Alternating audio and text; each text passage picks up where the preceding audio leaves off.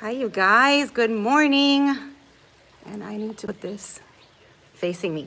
Hi, you guys. Good morning and welcome to my Tuesday live. So, as usual, I'm going to give you guys a few minutes to tune in before I start my live.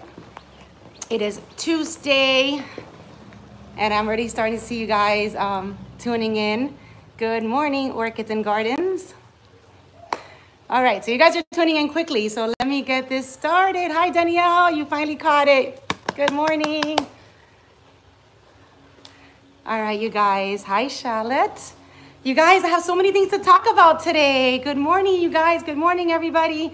And I'm actually out here a little bit earlier um, than last week. Sorry, you know, I have to get ready for work, so I have to just, you know, hurry up, put my makeup on, and then um, actually sit down here. So um, today's uh, live chat, um, I want to discuss a few things um, that's going on, a few things that are going on out on my.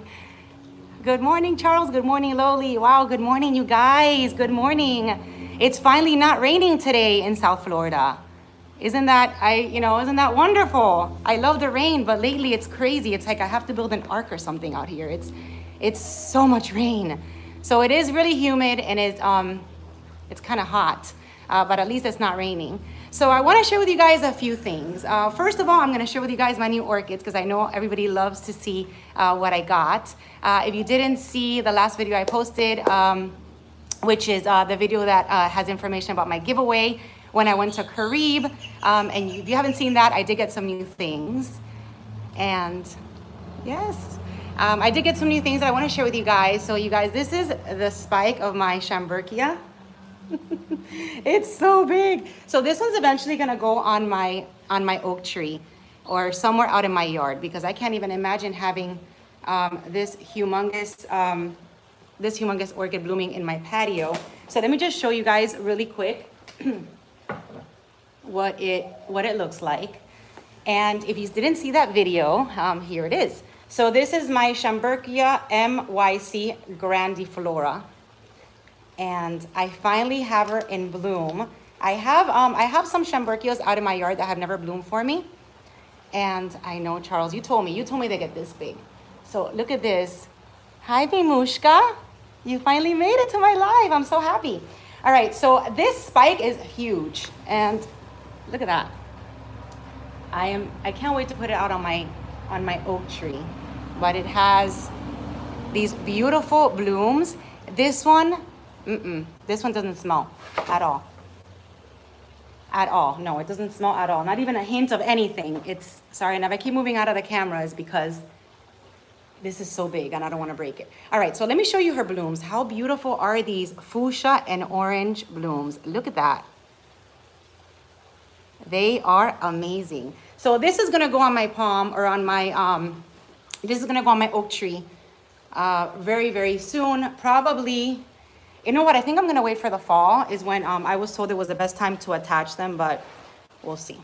Fall or sometime, sometime before then. So I got that one. I got another um, hybrid, which you know what? I have it all the way over there. I'm not gonna bring it. It doesn't have any flowers or anything, but I got another hybrid um, of the Brassa, Brassavola.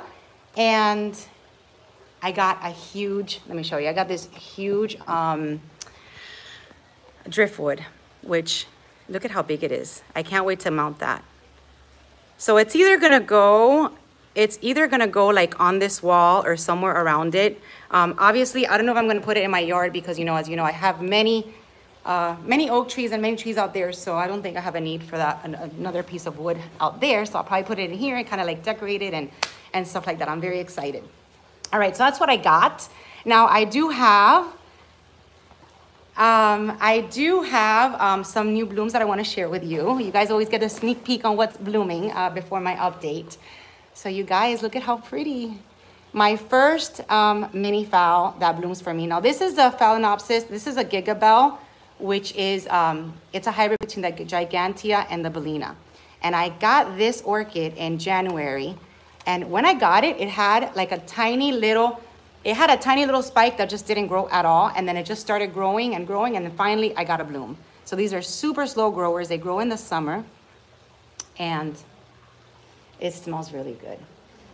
this one has smell. I don't know how to describe it. It's like a, it's like a citrus, but like, like a citrus. I, I can't describe what kind of smell it has, but it's like a citrusy smell. And look, it's so pretty. So I have two of them. Look at my two little, my two little Gigabelles. Aren't they pretty? What I love most are these leaves. I mean, look at those shiny leaves. They're huge, they're shiny. I don't like to water these with my well water because if you haven't noticed, um, everything in my yard kind of gets that, that white residue. So I really want to keep those leaves nice and white. All right, so those that's what's in um, in bloom. I showed you my new orchids. Now I want to talk a little bit to you guys about um, this giveaway that I'm doing, which I'm so excited, and I hope everybody that lives in the U.S.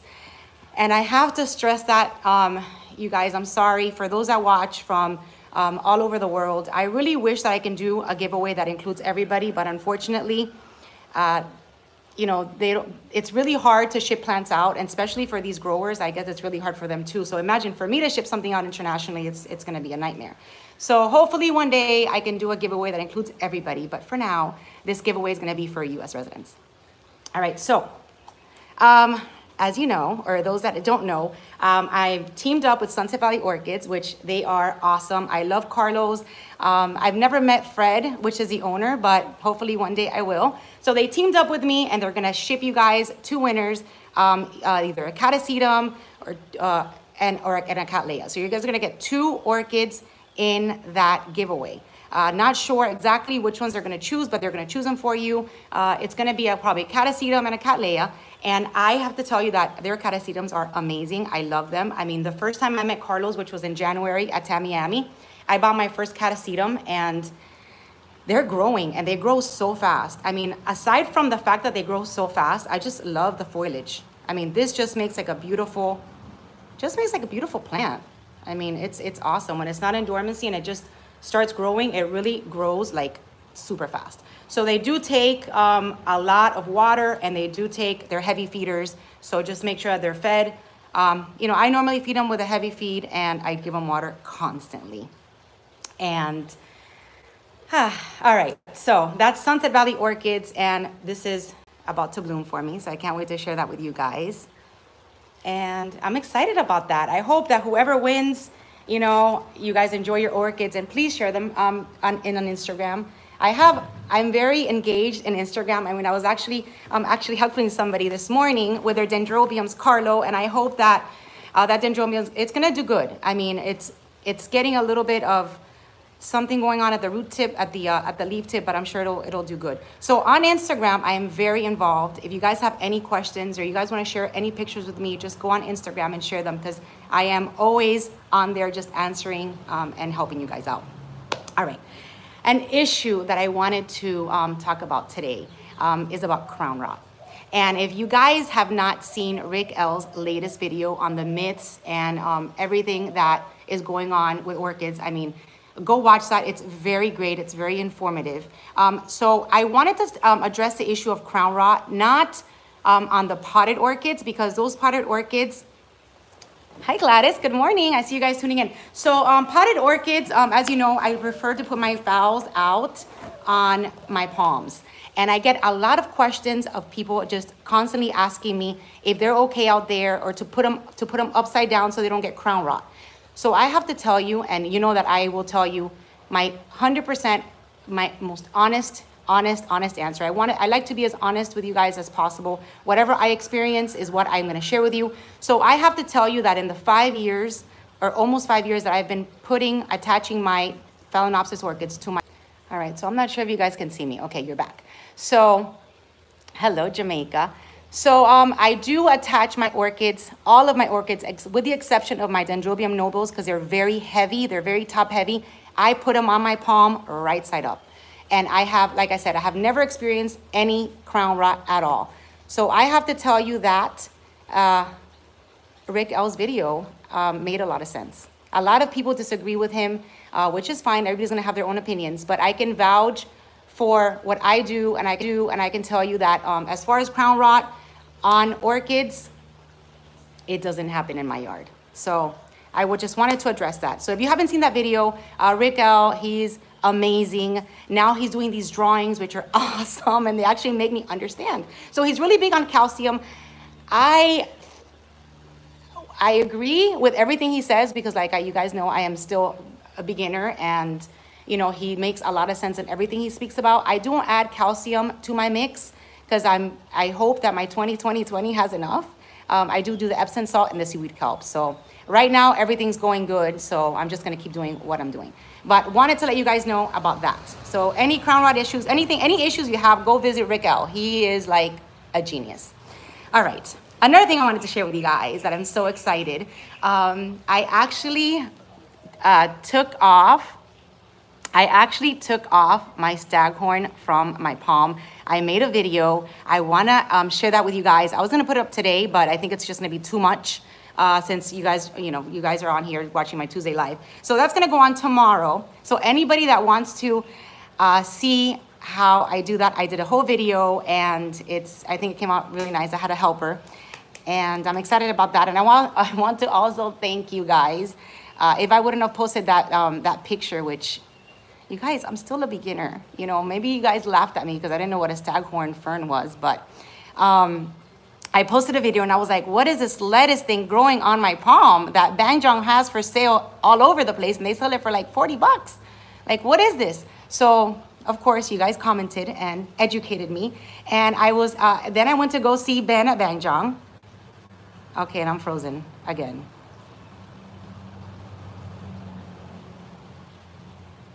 Can you guys see me? Because on my end, I'm frozen. Okay. So um, until I don't unfreeze, I don't know if you guys are seeing me, but I went to go visit um, Ben at Bangjong, and he told me, yeah, can you see me? Because I'm frozen. I'm like frozen with his funny face. All right, so I went to go visit uh, Ben at Bangjong, and he did tell me that I have the best conditions and that they just grew, and that's awesome to just um, either, either take it off, either take it off and put it somewhere bigger or put it on a mount. So I decided to put it somewhere where it's gonna have more space. So anyway, that video is gonna go up uh, tomorrow. Hopefully I'll be able to edit it tonight and put it up tomorrow. All right, hi Maria. Do you guys, yeah, can, okay, so you guys can hear me, but I'm very frozen. Why am I frozen? Okay, so somebody's seeing me, some people are seeing me, some people are hearing me. I cannot see what I'm doing in the screen. I just see myself frozen. You see? This has never happened. All right, so uh, so that's what's going on with my staghorn. And like I said, uh, you guys are amazing. This is why I love this channel so much because you guys help me out. You know, not just, you know, it works both ways. I help some people and you guys help me out a lot. All right, so I'm still frozen on my end, so I'm just gonna keep talking. It's very distracting because I see myself like, and that's all I'm doing. All right, guys, so um, let's see, rain. Uh, the rain is kind of getting a little annoying, even though uh, I, you know, I love the rain, but it's just raining nonstop every day. and another, uh, that goes back to my crown rot topic. You know, if you put your orchids out in the rain, just let them dry out a little bit. I do. I let them dry out under my terrace completely, and then I put them away. So don't put them away while they're still soaked yeah, so you guys are still hearing me. I'm sorry. I don't know why I'm still frozen. Uh, let's see what else I want to talk to you guys. You guys, my event is getting filled up really quickly. That's going to happen August 3rd.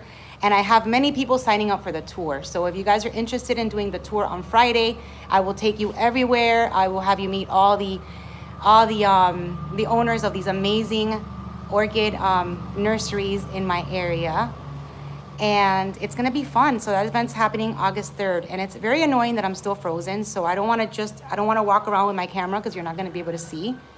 Let me see if I I move it.